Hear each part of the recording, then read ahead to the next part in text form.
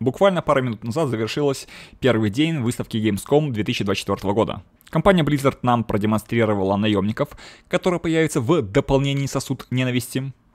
Показано, в принципе, было немного, это всего лишь была визуальная демонстрация с маленьким кусочком геймплея. Но зато теперь уже видно, как работать будут наши наемники, хотя это можно было и догадываться после того, как нам продемонстрировали их на артах.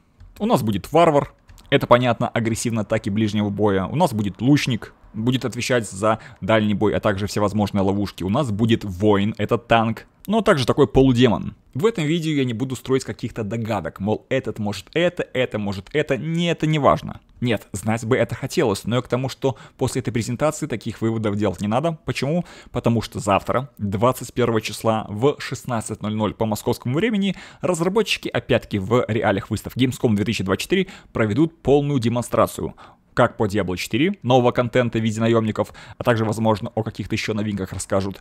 Кроме того, будет речь идти и о Diablo Immortal. Так что, кому Immortal интересно, тоже что-то интересное сможете узнать. Ну и напоследок разработчики решили нам сделать еще один дополнительный подарок. Все игроки, которые приобрели уже заранее Deluxe и Ultimate издания, дополнительно получат новые крылья.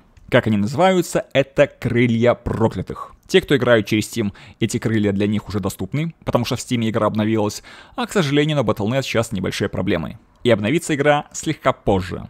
Так что вот такие новости, и напоминаю, завтра, 21 августа, в 4 часа, в 16.00, жду у себя на канале. Будем смотреть новую презентацию. И надеюсь, будет интересно. А пока, всем пока!